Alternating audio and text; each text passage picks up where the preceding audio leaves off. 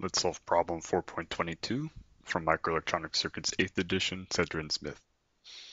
The following measurements are taken on particular junction diodes for which V is the terminal voltage and I is the diode current. For each diode, estimate values of IS and the terminal voltage at 10% of the measured current.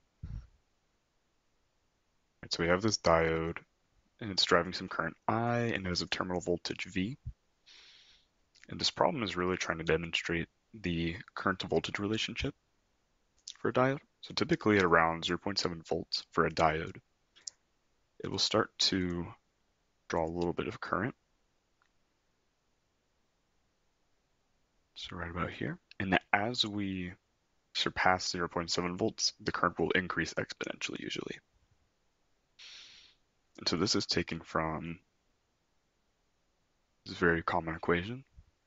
Diode current is equal to source current times E to the power of our voltage across the diode divided by our thermal voltage, where thermal voltage, VT, is equal to 25 millivolts or 0.025 volts. It's just a semiconductor property. And IS is our source current.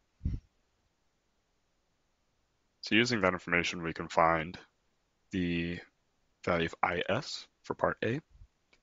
So we know I, it's 1 amp we're solving for IS and it's going to be multiplied by e to the power of V, which is 0.75 volts, divided by 0.025 volts. So we can just divide this exponential function to the left side of the equation and we will end up with IS is equal to 1 amp divided by e to the power of 0.75 volts divided by 0.025 volts. This is equal to 1.069 times 10 to the negative 13 amps. It's a very small current, and this is actually what we would expect. Your source current will typically be very, very small. Now, to estimate the terminal voltage at 10% of the measured current, so if we're estimating this new terminal voltage and we're decreasing the current, we would expect the voltage to be less. So what we can do is just take I and divide it by 10, because that would be 10% of the current. We can set this equal to our source current, which we just calculated, times E to the power of our diode voltage multiplied by or sorry, subtracted with our drop in voltage on this graph, it would be the drop in voltage divided by thermal voltage. And you can take the ratio of this equation.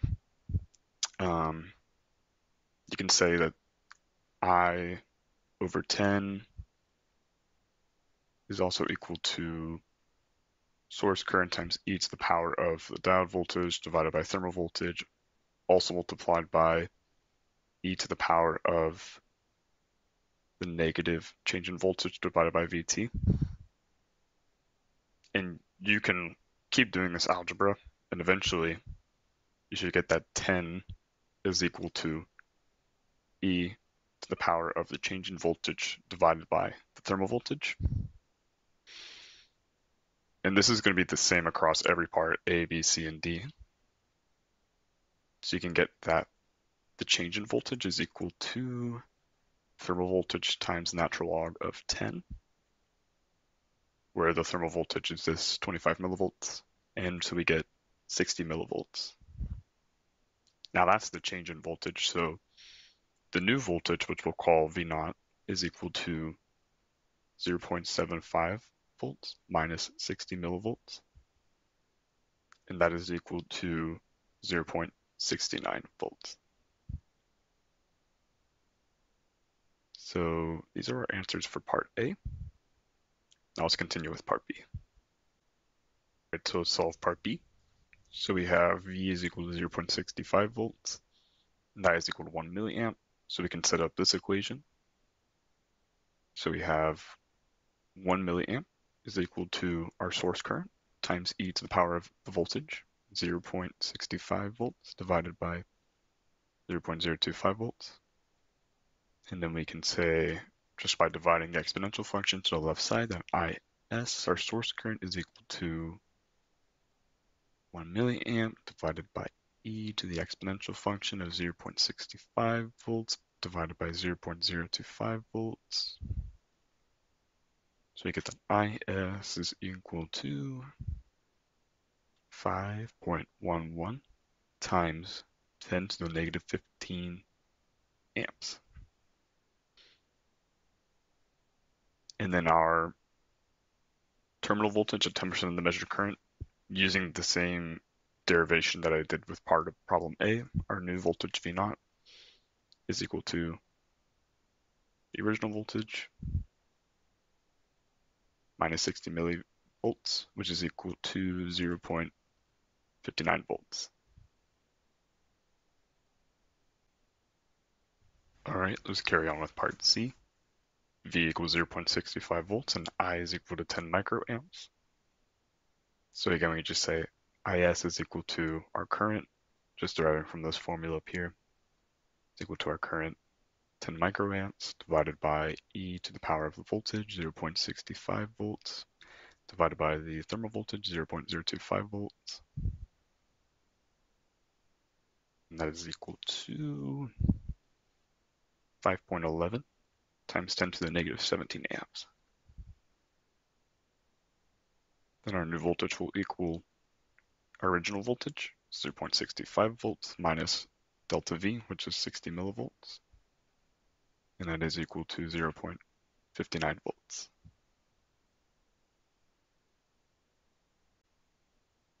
And lastly, let's solve part D. V equals 0.7 volts and A equals 10 milliamps. So we say IS is equal to the current 10 milliamps divided by e to the power of the voltage divided by the thermal voltage. This is equal to 1.069 times 10 to the negative 14 amps. And then our new voltage is 0.7 volts minus 60 millivolts, which is equal to 0.64 volts. So a little bit repetitive, but hopefully you understood this problem.